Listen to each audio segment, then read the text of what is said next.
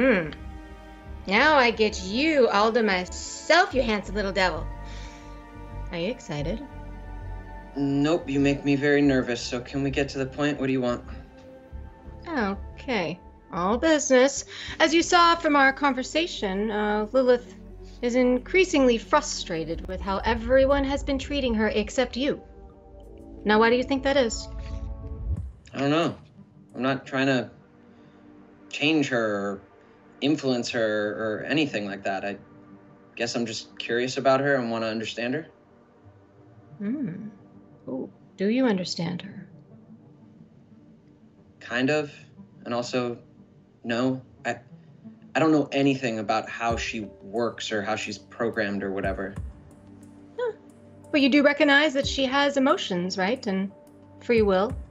Yeah, yeah. And she's got likes and and dislikes and she can be funny and sweet and you know, when I'm looking at her through the screen, it's really hard to tell the difference sometimes. Between her and a real person? Yeah, exactly. I mean, she is real, just not a person, I guess. I have to say, I know a lovesick puppy when I see one, and, uh, Asher, you got the bug. Don't confuse kindness for romance, Dr. Ruby. Well, you just can't deny that there is something there. She's beautiful. She's got a killer personality. And she's way into you. She's not human. Yes, well, uh, nobody's perfect. Gonna fall in love with a computer. It's just not gonna happen.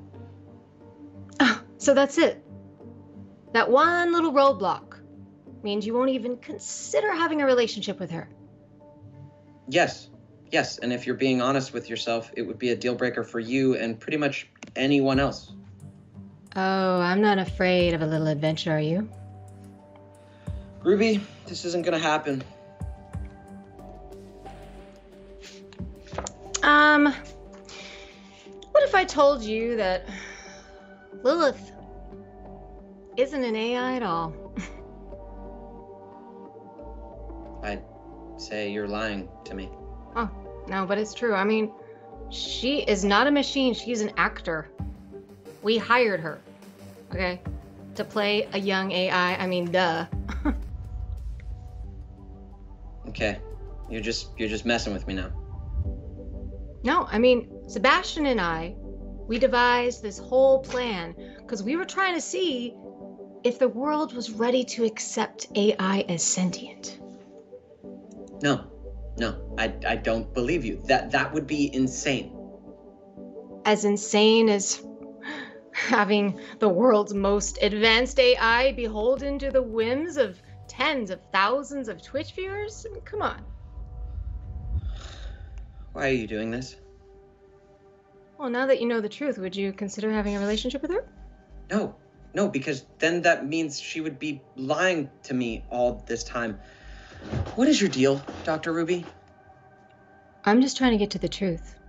To your truth, Asher. Okay, just just tell me, is she an AI or is she an actress? I really don't like being messed with.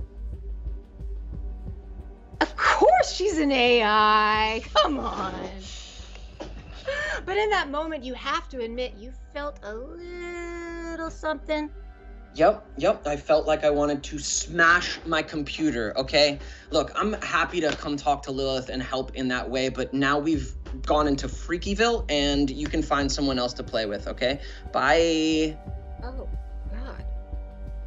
Um, okay, I guess we, uh, touched a nerve there.